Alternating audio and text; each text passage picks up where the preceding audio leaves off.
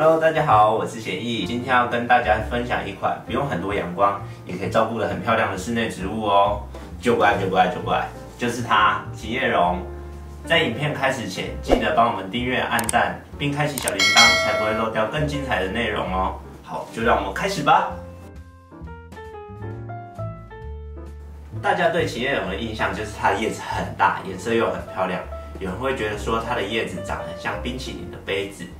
就我而言，我会觉得琴叶榕给我一种放松沉静的感觉，很适合摆放在室内作为观赏植物。我们的琴叶榕有三寸的小盆栽，适合放在卧室的窗台或者是电脑桌旁边。每次看到它的时候，就是一个疗愈的过程。另外，我们还有五寸跟九寸的大小，比较适合放在阳台、庭院或者是玄关旁边，就会给人一种大气又温暖的感觉哦。如果家中长辈有风水上的考量，可能会植物你。哎呦啊，你哪在厝里种青啊？迄唔好啦，迄伤阴啊啦！阿妈，我跟你讲，这不是青啊，这是橡皮树啦！哈哈哈。形容它，就算在稍微阴暗的环境，只要有一点光线就能够种植哦。像在豪宅或者是完美餐厅，很常会看得到它。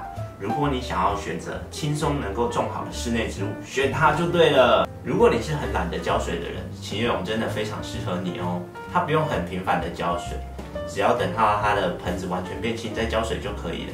如果你真的没有时间去照顾它的话，可以选择自动浇水花盆来做种植。只要等到它的红色棍子降到最低的时候再浇水就可以了，是不是很方便呢？我们的自动浇水花盆有六种颜色，你想怎么搭就怎么搭。像我，我就比较喜欢白色跟灰色来做搭配，会给人一种很有质感的感觉。再来，琴叶榕喜欢温暖的环境，其实台湾的气候蛮适合它的。夏天的时候会长得比较快，所以肥料要多施一点，它才会快快长大。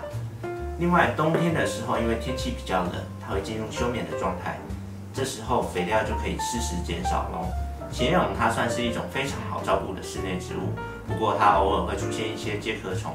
当你发现介壳虫的时候该怎么办呢？这时候就可以使用我们的害虫白白做喷洒。还记得我们的比例吗？一 cc 的害虫白白搭配上四百 cc 的水，混合均匀之后就可以喷洒喽。当你发现你的介壳虫的数量有点多的时候，记得要多喷几次。有些人会觉得说介壳虫看起来很可怕，就我而言。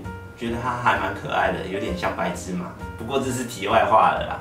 如果你在琴叶榕的叶子上发现橘色的小点点，这时候你就可以拿软刷沾取坏菌白白，将坏菌赶走，这样你的叶子就会恢复成漂亮的绿色喽。看到这边，相信大家都更了解琴叶榕了。别忘了要追踪我们的 Facebook 和 IG，里面有更多植物照顾的小妙招哦。快和我们一起享受种植的乐趣吧！我们这次的影片就到这边了，希望你会喜欢这次的内容。我们下次再见，拜拜。